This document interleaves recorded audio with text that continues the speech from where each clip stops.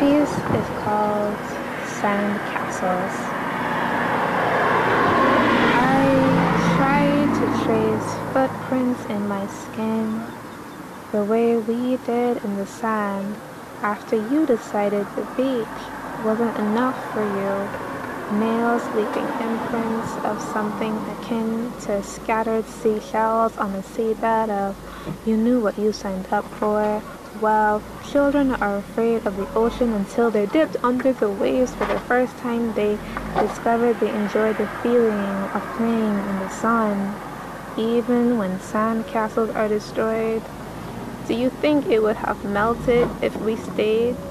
Waves splashing against mine as we made sure all the shells stayed in place, maybe a fortress of stones to keep shallows away. You think it would have melted under the sun-searing rays of nothing lasts forever? The rain eventually comes.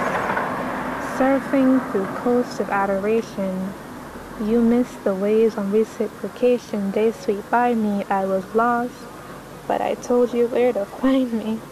How do you always jump in so blindly? If you truly understood what love meant, or believed it when you said it then, I wouldn't be stuck here in suspense, but we just sit on the sand